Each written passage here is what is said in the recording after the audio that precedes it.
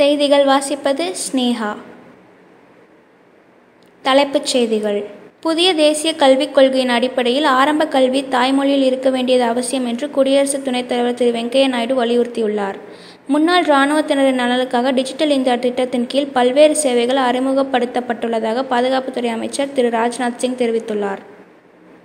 அனைவருக்கும் Covid nineteen தடுப்பூசி கிடைப்பதை உறுதி செய்யும் வகையில் தடுப்பூசி உற்பத்தி நிறுவனங்களுக்கு அனைத்து உதவிகளையும் வழங்க மத்திய அரசு உறுதி பூண்டுள்ளது என்று ரசாயனம் மற்றும் உரத்துறை இணையமைச்சர் திரு மன்சுக் மாண்டவியா கூறியுள்ளார். தமிழகத்தில் கூடுதல் தளர்வுகளுடன் கூடிய ஒரு வார கால ஊரடங்கு இன்று முதல் செயல்பாட்டிற்கு வந்துள்ளது. யூரோ கோப்பை கால்பந்து போட்டியில் செக் குடியரசு நெதர்லாண்டையும் பெல்ஜியம் போர்ட்டுகலையும் வென்று காலிறுதிக்கு முன்னேறியுள்ளன. நன்றி வணக்கம்.